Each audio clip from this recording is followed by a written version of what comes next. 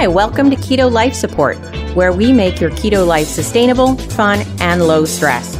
I'm Kim Howerton from theketonist.com, and I'll be coming to you weekly with some of my keto besties to bring you the practical, real world keto advice that you need.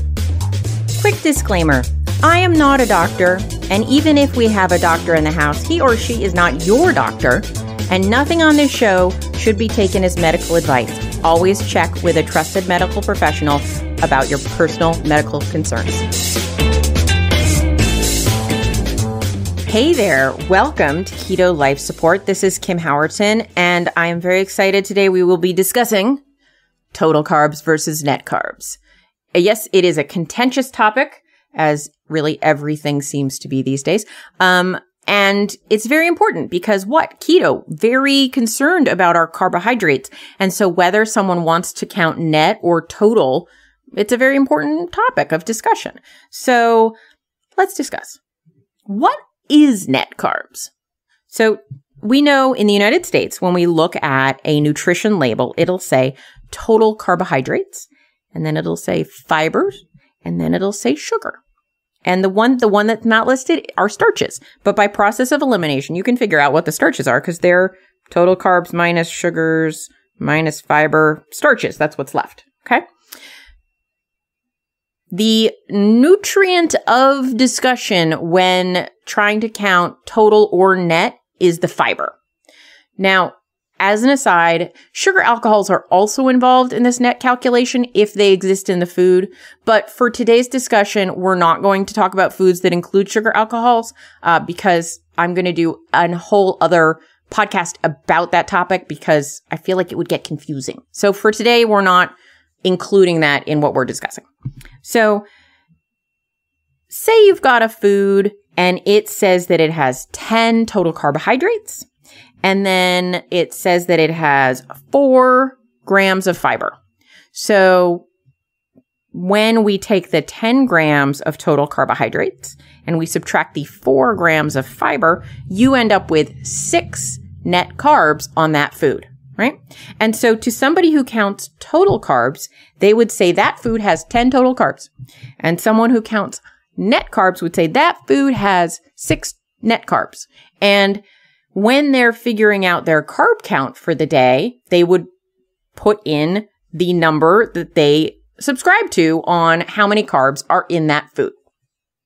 So that's just the basics of it. Now, let's get to the why of it. Um, why do some people count net carbs and why do some people count total carbs? So, I mean, the main reasons for counting net carbs is it gives you a bit more flexibility, right? If you get to subtract something from your total carb count, it kind of means you get more of those foods. Um, and that is a big win for some people, uh, because they want more salad, right? And I can support that. I like salad. Um, and Mike Eades, who kind of takes responsibility for creating this net carb topic, said that was the point. That was why it it was created so people could get a bit more of those green veggies that they wanted to get into their, you know, well-formulated ketogenic diet. And that makes perfect sense, except there are things called soluble fibers in addition to insoluble fibers. Now, the reason that people say fiber doesn't count is for the most part, fiber is not digested. And so it, it just, it, it exits your body if you know what I mean. And so because of that, it will not have sort of an, it won't be absorbed as a carbohydrate, right? As a sugar. Because carbohydrates of concern are ones that are broken down into sugars eh, according to your body, right?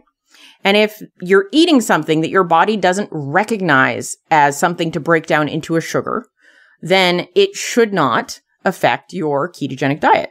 Does that makes sense?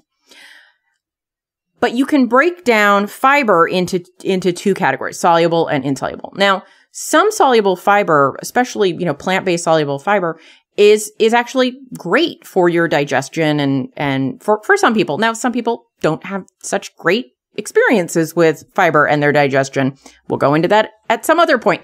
But for the most part, uh, most types of soluble fiber appear not to have a negative impact on blood sugars. And so it would make total sense why you might count net carbs from these foods and, you know, based on the impact that people tend to see on their blood sugar and their insulin levels. The problem is that um, industry ruins everything, right? so let's let's discuss some new products that seem to have come to market recently. Uh, there is something out there recently called Smart Sweets. It's like a little shiny, pretty gummy bear. I mean, who wouldn't love that? It's so cute and squishy and adorable. And you know, people might start to think, "Oh, I missed that. I missed that gummy bear experience." And you thought, "Well, I can never have that." On a ketogenic diet. And then this company, they come in and they're like, no, no, you can have it. This is perfectly healthy. It's wonderful. And people get very excited and they say, yay, I want some. Um, and then let's discuss. Let's look at the nutrition label. Well, I'm going to look at it. You're welcome to look at it there. I can't show it to you because this is an audio podcast, but uh, let's let's talk about it. So these fruity gummy bears. They, for a serving, uh, which is a bag, you can have the whole bag. That's very exciting to people again, right? The total carbohydrates listed are 33 grams. And you're like, wait, wait, hold up there. 33 grams of carb. This is not a keto product. And they're like, but wait, 28 of those are fiber. So you get to look at that 33 minus 28. Oh my gosh, it is only five net carbs. That is totally keto. I can totally do that, right? But here's the problem. Several type 1 diabetics that I have talked to about this product say that when they took that, when they took it, like it's a, like it's a drug, when they ate it, their blood sugar skyrocketed and they had to play catch up games with injecting insulin. And it's just super bad news. Now, we can look at this as sort of a canary in the coal mine situation, right? Um, often when we're not type 1 diabetic, you know, our body will adjust to handle what we've thrown at it. But there are repercussions to those adjustments. So we might eat these and feel perfectly fine, not knowing that our blood sugar went way up and our insulin had to compensate and all sorts of things happened that you do not want happening on a ketogenic diet, right? So because this food has managed to label itself as a low net carb product, it's kind of fooling a lot of people. And it's super unfortunate. And it's, but it's one of the main reasons, not, not this food specifically. There are, I'm not picking on them more than anything else because they're not alone is what I should say. There are a lot of foods like this out there. There are a lot of products out there like this where they have played reindeer games with the amount of fiber, the amount of soluble fiber specifically. Um, and they've done it in a way that is about the math, not about the effect on someone's body. You know, Quest, uh, energy bars, protein bars. Are they protein bars? I think they're protein bars. Quest bars, um, which, you know, so many people love. Even, you know, the, the founder of Quest, who later went keto, says he can't have more than a half of a bar without being thrown out of ketosis. Those bars only have like two or three net carbs, I think, right? No more than four. And so that shouldn't happen if the net carb thing worked in all scenarios. So this is why I lean heavily towards suggesting people count total carbs. You just can't get into the same bad neighborhoods. Now, if you are somebody who says, I don't play in those in those fields, Kim. I'm really just eating whole foods, you know, broccoli, cauliflower, uh, asparagus and meat and things like that. And I, and I just, I, I feel better when I have more vegetables. I'm like, right on, go right ahead. I feel pretty comfortable with net carbs in that arena. Now, you, some people might try that and say, oh, I, I don't, I don't think I'm in ketosis here. That was the case with me when I first went keto and I tried for a more high vegetable diet because I actually used to eat a lot of vegetables because I love them um, I was not in ketosis. When I tested my blood ketones, they were not there. And I had to go to total. And so experience is really going to help you dictate what is going on and which way you should lean.